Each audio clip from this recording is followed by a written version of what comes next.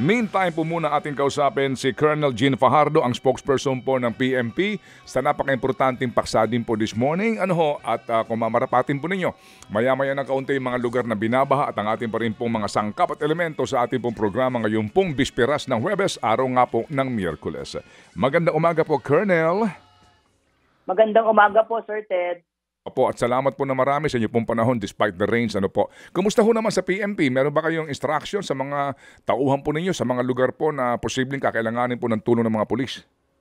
Yes po sir, uh, bago pa lamang po uh, lumakas itong ating inaasahang bagyo po sir ay uh, nagbigay na po sir ng instruction ng ating uh, Chief si uh, General Marbil doon po sa mga lugar kung saan inaasahan pong tatama yung malakas na ulan po na siguraduhin po na readily available po yung mga personnel po natin para i-dispatch po, particularly doon sa mga areas na kailangan po ng search and rescue po. Ay, salamat po naman. Ano pati sa mga lugar nga, sa mga lalawigan na matindi po ano, at tuloy-tuloy ang mga pagbabahang ito. Sige po, um, Ma'am um, Colonel, ano ho ang uh, masasabi nitong uh, PMP dito po sa naging pa-official notice ng Vice Presidente nga na tinanggalan siya ng 75 mga tauhan ng PMP Security Group sa kanya pong uh, security. Ano pong kwento dito?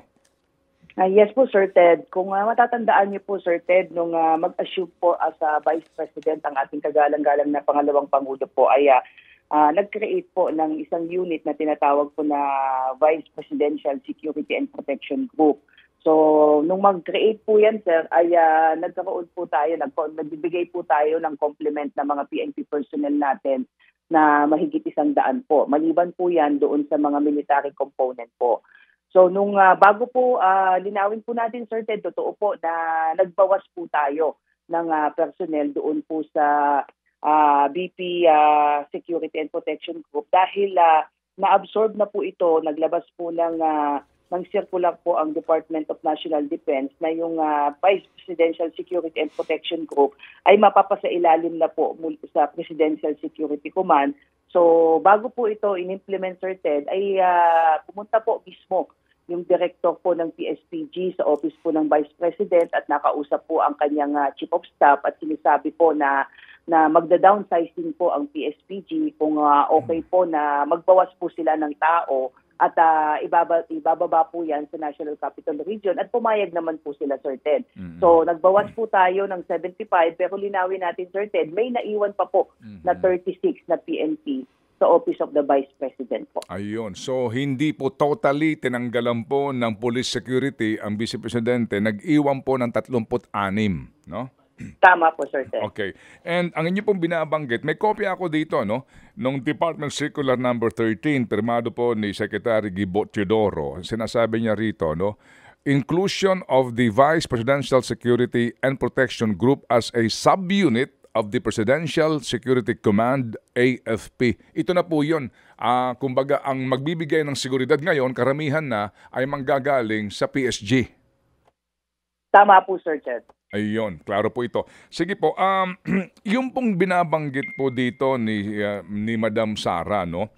Opo, uh, kasi nga ito'y kanyang inanunsyo, no? kinukumpirma niya na yung dahong kanyang 75 PMP Police and Security Group personnel ay inalis. I do hope, sabi niya, however, that with this latest directive of the Chief PMP, we hear less cries from the people regarding the proliferation of drugs in the country and that even fewer shall fall victim to various criminal activities. Ano pong reaction doon ng ating pambansang pulisya?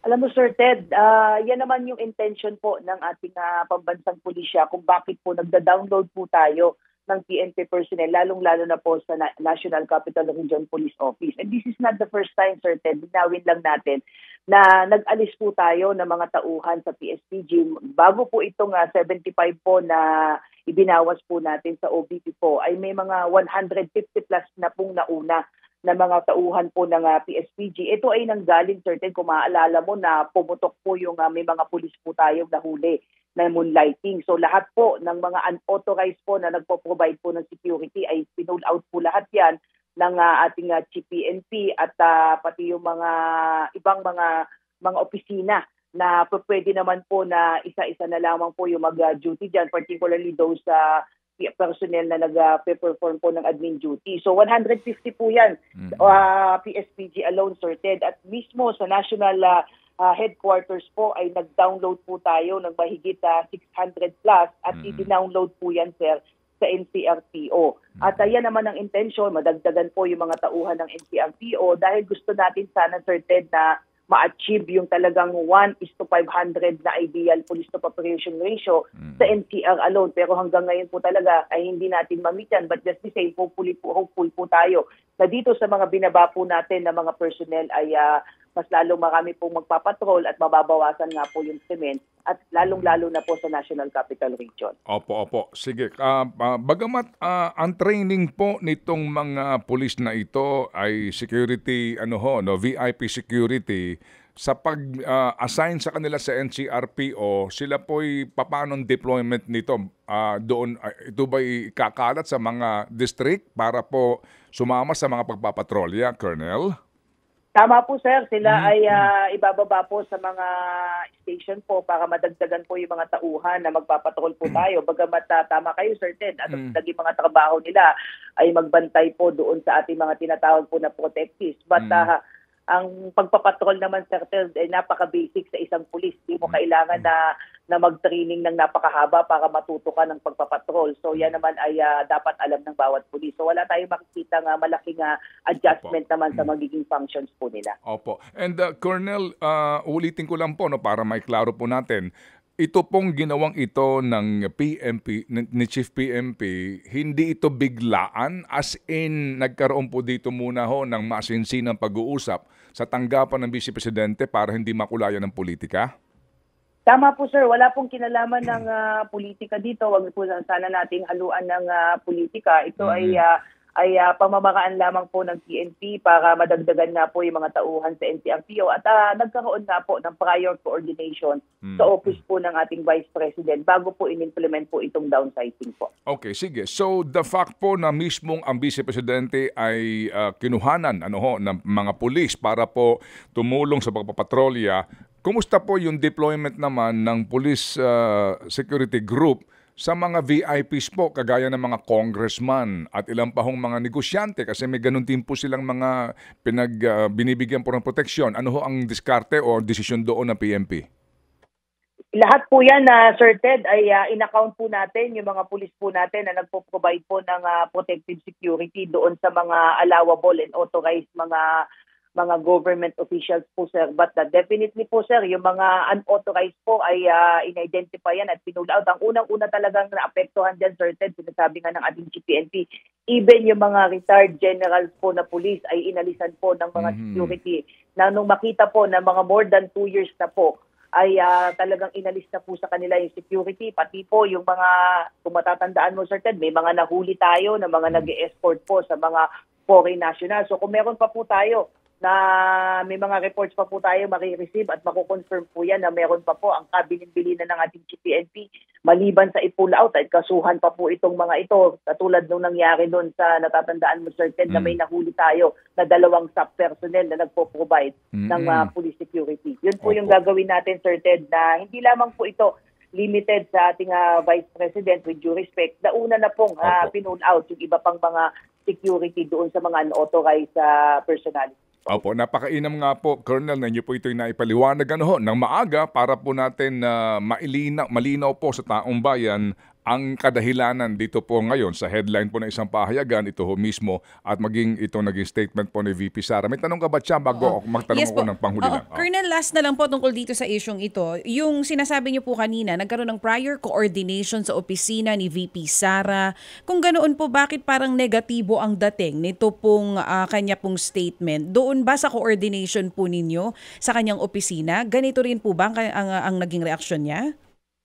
Kausap ko ma'am mismo yung uh, director po ng uh, PSP, si General Lasigo. Naging maayos ma'am yung uh, naging coordination at ipaniwala- piniliwanag sa kanila. At in fact, tinanong sila na, na yung 100 uh, plus na personnel po na nakadetail sa Pro- Protection Security Group ay kung kinakailangan pa nila since uh, malilipat na nga po uli at ma-absorb po ito as uh, sub-unit po ng uh, PSP.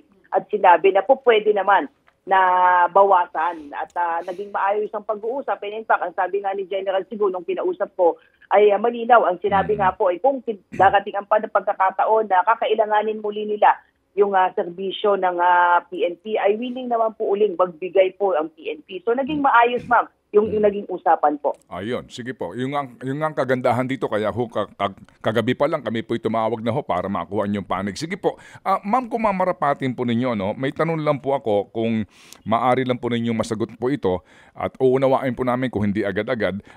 Ma- alam na ho ba ni Chief PMP itong lumabas sa pagdinig po sa Kamara na yung dating CIDG chief na si Major General Romeo Karamat Jr. ang sinasabing ah, nag-relieve sa mga pulis na nakaagapay po ng PAOK sa pagsalakay po sa POGO operation sa Bambantarlak. Kasi po dito sa balita sinasabi na gumawa ng tama yung mga pulis pero sa halip daw ho na bigyan po ng pagkilala, itinanggal pa nitong dating hepe na si IDG. Aalamin ko, ah, Sir Ted, yan. This is the first time, sir, na, na, na ating nahagip po yan. Hindi, hindi po tayo nakapanood kahapon, sir, ng congressional hearing. Pero aalamin po natin at ah, I'm ah, pretty sure, sir, na kung totoo man po yan ay uh, paiimbestigahan po ito ng ating CPNP. Magbibigay ako, Sir Ted, sa inyo Opo. po ng update once makausap ko po si CPNP. Opo, salamat po. Sa ngayon po kasi ang hepe ng CIDG ah, National ay si Major General Leo Francisco. Ano po? Opo, sir. Opo. Opo. opo. Nasaan na ngayon si Major General Romeo Karamat Jr.? Nasa naka-assign po siya Sir Ted sa Area Police Command po ah, sa sa Mindanao po sir. Ah, doon siya na i-assign. Kailan po nagsimula ito, yung kanyang assignment po sa Mindanao? Ay, ay corre- correction Sir Ted sa Northern Luzon po sir, sa Northern ah, Area Police Command Northern Luzon sir. Siya po ay ah, na-assign po doon after nga po nga magkapalitan po sila. Ito Mm. naman sir ay ah, part pa rin nung ah, Mhm. nagkaroon po ng ah, reshuffle noon nung ah, magretiro po nitong ah, July po yung ah, dating area commander po ng APC Northern Luzon ay siya Mhm. po ang pumalit sir at pinalitan nga po siya sa CIDG naman ni ah, Major ah, General Leo Francisco po. Okay, sige po. So kami po ay ano, ga- gagawa po ng uh, karagdagang pong uh, panayam sa inyo dito po sa isyong ito para lang ho natin ito maiklaro kasi po ito ho ang laman ng balita at nabanggit din po sa amin ni Congressman Dan Fernandez ng aming pong mga kapanayam. Salamat po, Colonel. Yes sir, good morning po. Apo, thank you. Um, ang tagapagsalita po ng ating pambansang pulisya, si uh, Colonel, soon to be General Jean Fajardo